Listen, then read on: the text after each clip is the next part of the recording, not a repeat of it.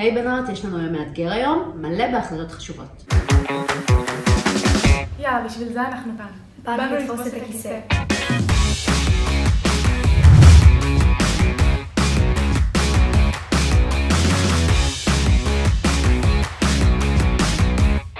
שלום, ברוכות הבאות לשטראוס. אתן המנהיגות של המחר. יש לנו המון מה ללמוד מכם, אז בואו תצטרפו אלינו ושיהיה יום מהנה.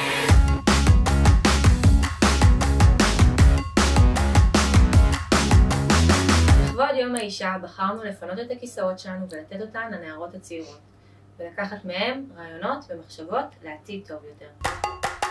כעמותה שעוסקת בקידום נערות צעירות, מתן כלים פרקטיים למימוש הפוטנציאל שלהן, אנחנו שמחות עם השותפות שלנו בשטראוס על עוד יוזמה מרגשת ואפילו מתבקשת לכבוד יום האישה. את יכולה להיות כל מה שאת רוצה. יום האישה שמח!